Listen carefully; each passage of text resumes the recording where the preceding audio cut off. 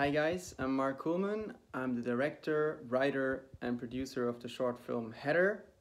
And Header is selected for the 2021 Demetera International Short Film Festival, which I'm really excited about.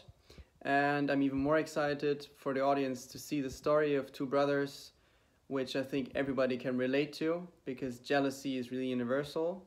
And we know that the relationship, especially with our siblings, can be quite difficult but I don't want to spoil anything. So yeah, I hope that you really enjoy the movie and I hope a lot of people watch the festival. And yeah, enjoy. Have a good one.